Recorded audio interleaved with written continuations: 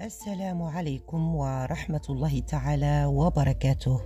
مشاعر حب ومشاعر سلام أبعثها لقلوبكم وأرواحكم أينما كنتم في هذه الأرض عبر هذه الحلقة.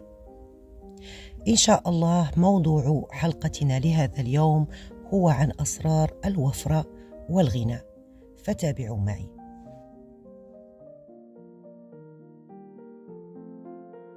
من أسرار الوفرة والغنى هو أن تعيش الوفره ضمن المتاح لك بدون خوف من فقده وفي نفس الوقت بدون تبذير في نطاق أكبر من إمكانياتك. بمعنى الا تحرم نفسك لكي تدخر فيتحول الأمر إلى بخل وأن لا تشتري أشياء أعلى من إمكانياتك فيتحول الأمر إلى تبذير. وحتى أقربكم لصورة سأعطيكم مثالا. فإذا كنت تشتري دائما أرخص أنواع الملابس وأنت لديك إمكانيات لشراء نوع أفضل ولكنك تعتقد أن هذا توفير فهو في الحقيقة بخل يؤدي إلى نقص المال لأنك تعيش داخل عقلية الفقر وشراء أشياء طاقتها منخفضة خوفا من فقد المال.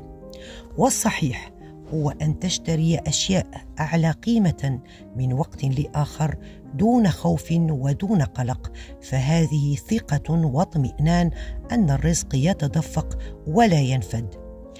وفي هذه الحالة يتدفق الرزق سبحان الله ويزداد بالفعل نتيجة الاطمئنان بالله الرزاق ونتيجة الطاقة المرتفعة من قيمة الشيء الأعلى قيمة.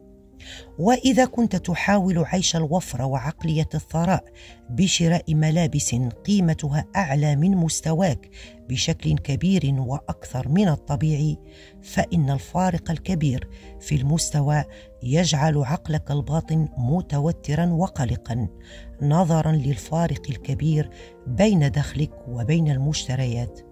وهذا طبعا يسبب خوفا باطنيا لا اراديا من خسارة كل أموالك.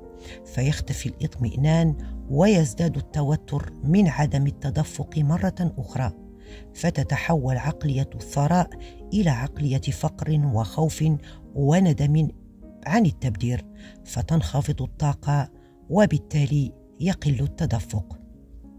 فالصحيح إذن أن تشتري من المستوى القريب لك حتى تعتاد عليه ويقتنع عقلك الباطن باقتراب هذا المستوى ثم يعتاده ومن ثم الانتقال للدرجة الأعلى حتى تصل إلى الأعلى قيمة وتصعد درجات الوفرة وعقلية الوفرة بشكل متدرج.